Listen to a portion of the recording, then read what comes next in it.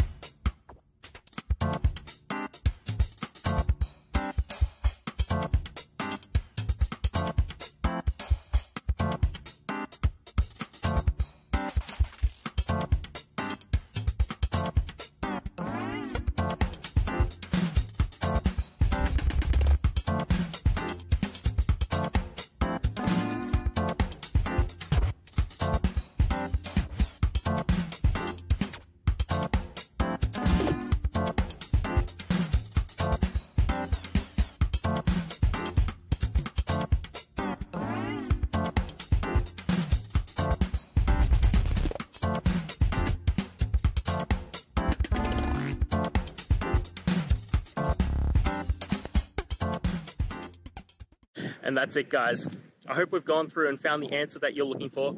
And look, if we did find that answer in your resolution, please hit the subscribe button. I'd really appreciate it. Now, until the next time you need technical videos, I hope you have a good one.